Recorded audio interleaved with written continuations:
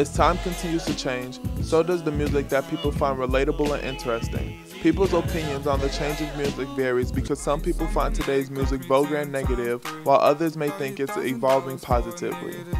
I like and listen to a lot of different genres, um, from hip hop to pop, R&B, um, classical. I listen to jazz. Really, really anything. If it's good, I, I, I listen to it. My favorite genre is rap and hip hop.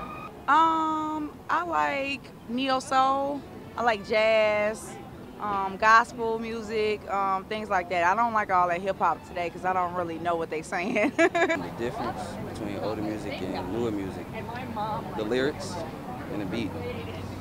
Yeah, cause like, cause the the beats, the music, the beats to the music back then, like the music back then, it was like mellow. But now people like they like use drill raps and stuff now, and the lyrics are more, you feel me, explicit and violent and stuff. I don't want to say it's better or worse. It's just it's just different, and I mean, it's always going to be kind of weird adjusting to something that's different than you're used to. So I mean, I feel like it's good in the fact that it's different and people are doing their own thing but I also still respect and you know have a have a passion for the old hip hop too. So I mean, it's cool. It's kind of like mediocre, kind of run. Not saying run down, but it's just like uh, more so you really don't know what what's being said or what's the message. They don't have a message today. So I mean. That's the that's the big thing of music of today. Not you don't have Marvin Gaye anymore with what's going on or Earth, Wind, and Fire. You don't have those people anymore. You just have these little bootsy, little somebody out, you know, and they're not giving a message to younger generations. Many people and older artists believe that music has taken a left turn when it comes to depth and lyrical complexity. An example of this is when rapper Ice-T called Soulja Boy out on his hit song Crank That due to his controversial opinions.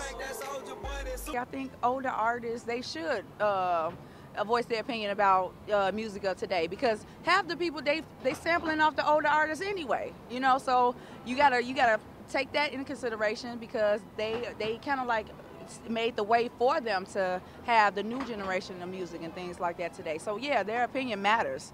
Absolutely.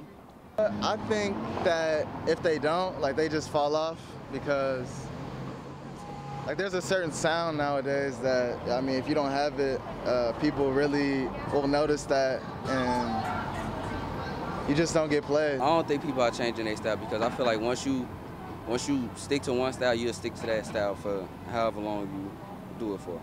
Ultimately, music changes at the request of the world and the people. Whatever problems are being faced or whatever trends are being set in the moment will always affect music production. However, it's the people that technically control the music produced because we are the consumers. More perspective because I do listen to a lot of different stuff. So I just I just hope it, it turns around a little bit as far as like the hip hop scene and like uh, what's acceptable and what's not and like how people uh, view view hip hop be yourself, man. That's that's probably the best thing you could do is just be yourself and do you. Um, that's all music is, all art is, is just being yourself and expressing yourself. So as long as you do that, then you're gonna be good. Reporting from FSM News, I'm Jalen Johnson.